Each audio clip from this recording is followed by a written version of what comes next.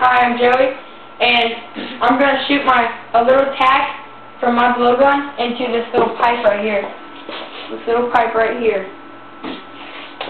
My friend Eric doesn't think I can do it. I want to prove him wrong.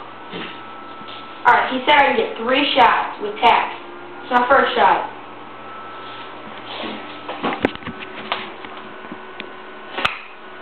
Got it on the first shot. Oh yeah. Got it.